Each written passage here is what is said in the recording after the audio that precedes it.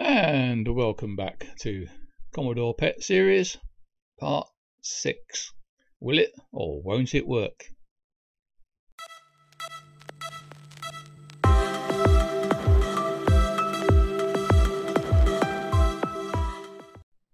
And welcome to the Commodore Pet, Part 6. Now this arrived in a mailbag recently and uh, this is the end that we are going to remove.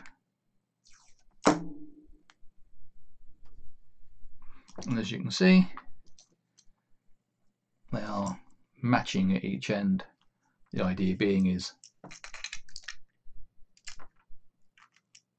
to get it right around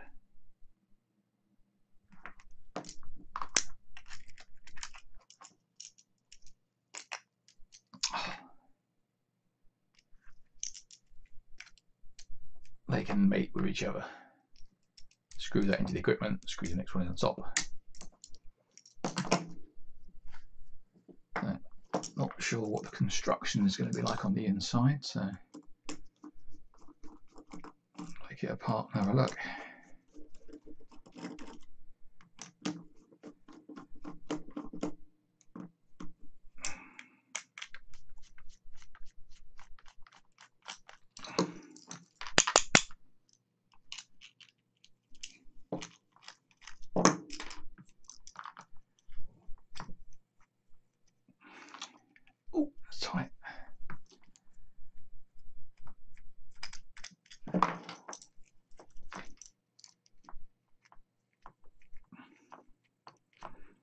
Should separate the two halves.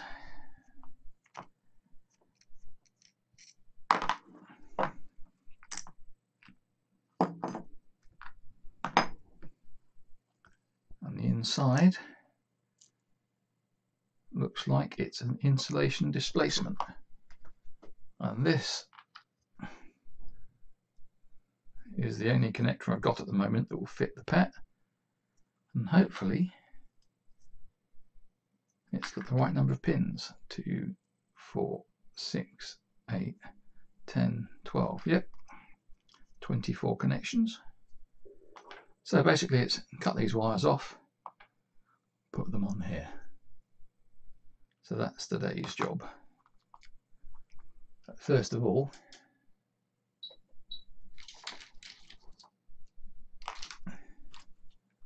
better check that they are actually one to one.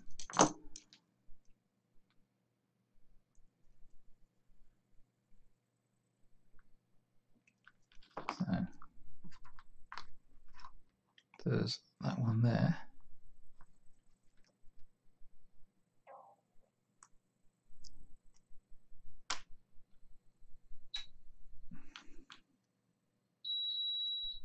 Go. See that one? Yep. So one to one. Means I should be able to happily chomp my way through them.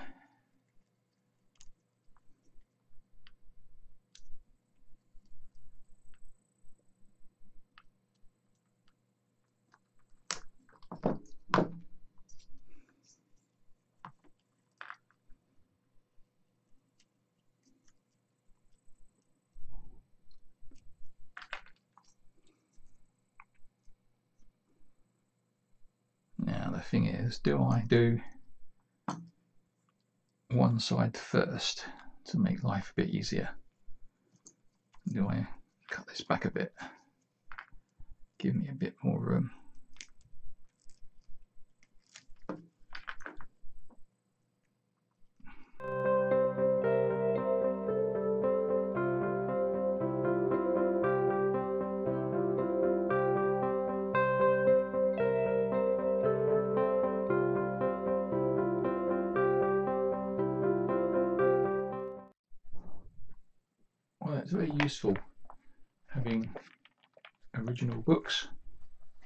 Is here we have the IEEE 488 port.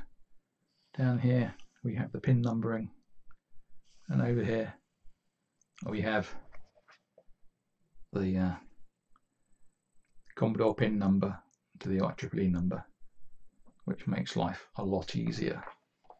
So hopefully put that to the side. So looking at this that's going to be pin 1.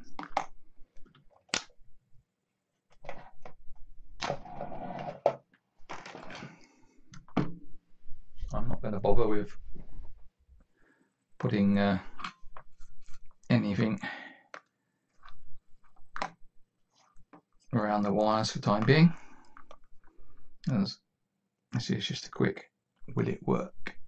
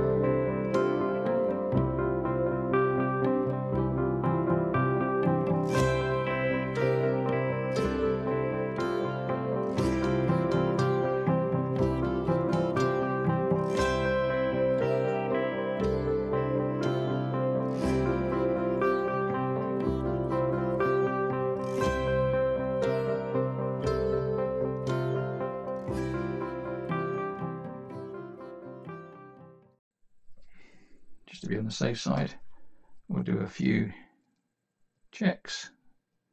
Pin 1,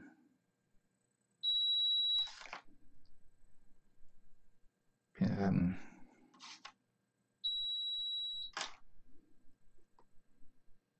Twenty-four.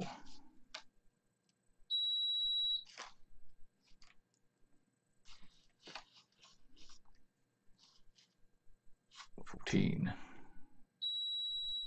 Right. right. They're okay. So that's it for that. The next thing is, will it work on the pet? Oh. Well, I powered it up and it let the magic smoke out.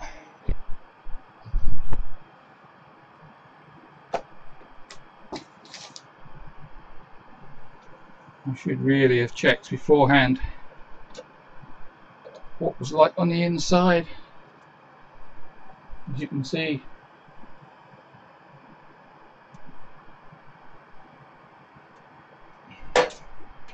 the magic smoke is departing rapidly.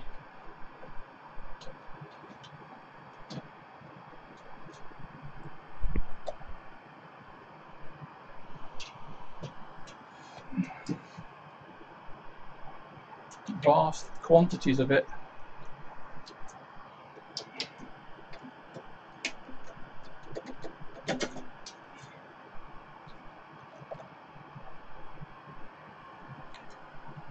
Still coming out.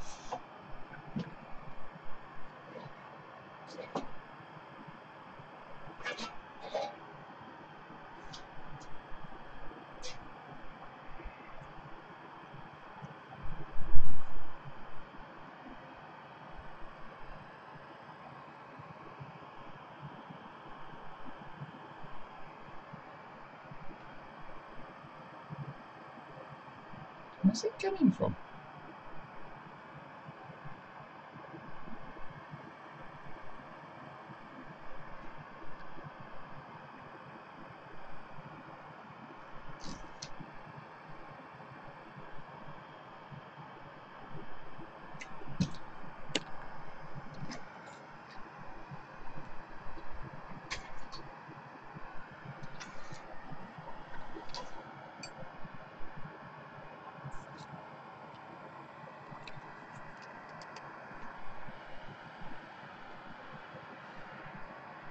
Well, it looks like it was coming out that box.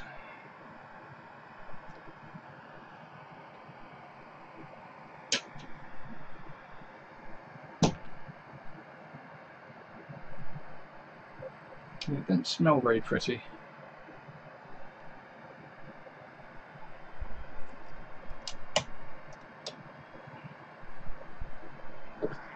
So I can remember where things go. That come off there.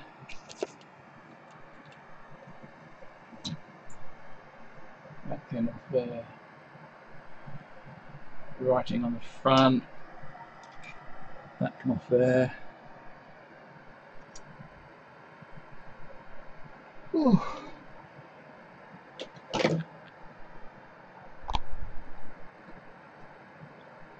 really does smell in here now.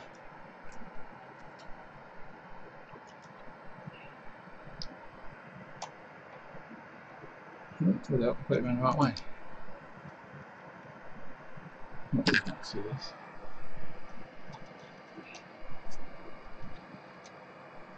It's a bit iffy. You noticed there's a nut on the screw.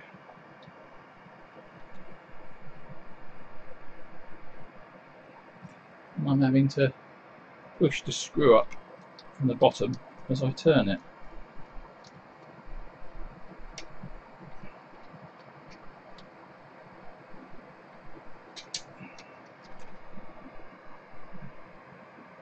Well, that doesn't look very original.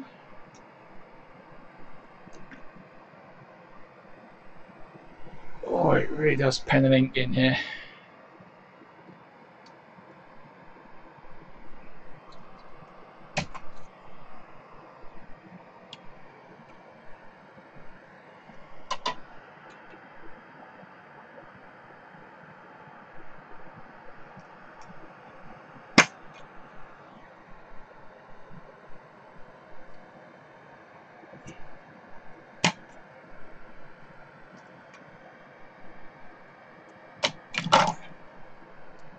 What I'm going to do if it's killed the board, because where would you get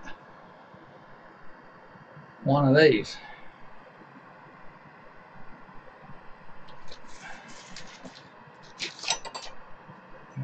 That on the mat somewhere.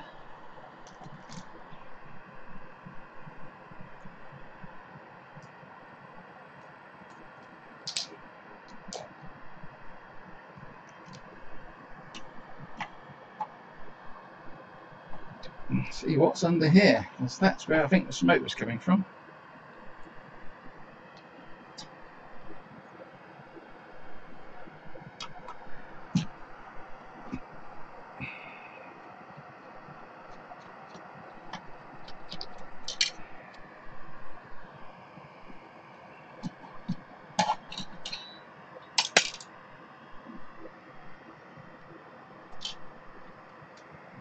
That didn't help.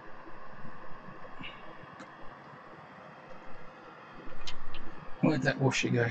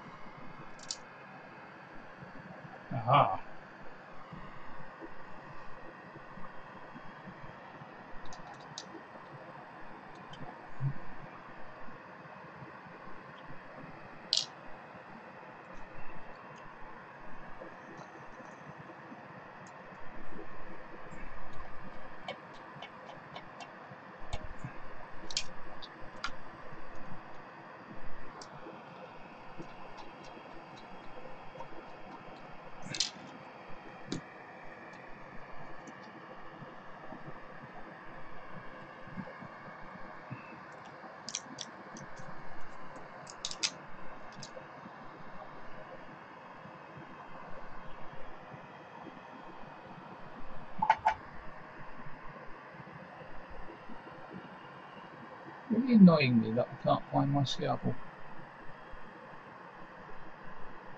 A, because I want it, and B, I don't want to find it with a part of my anatomy pointing first.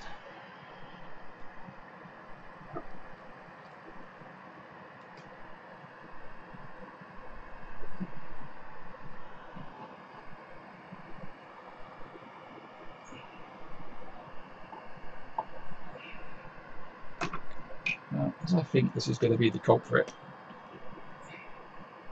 As it's also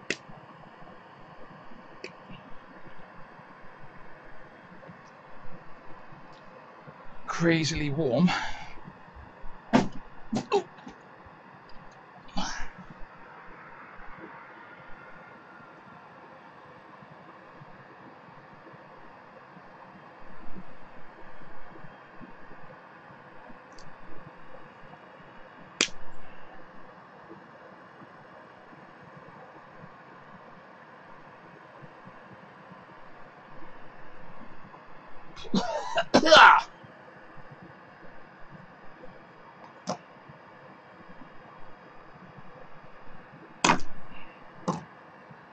Well, there you go.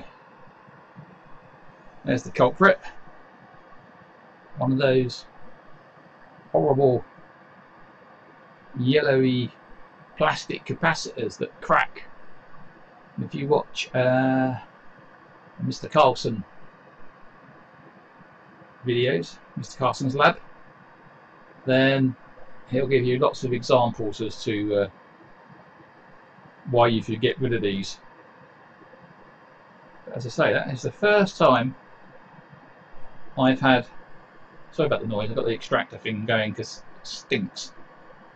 It's the first time I've had one of these go. The problem there is I'll have to order one of them.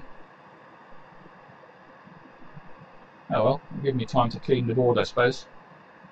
And luckily, the power went before any damage was done to the uh, main board. So, this is about as far as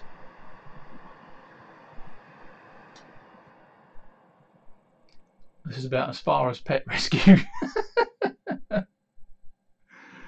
part six is going to go.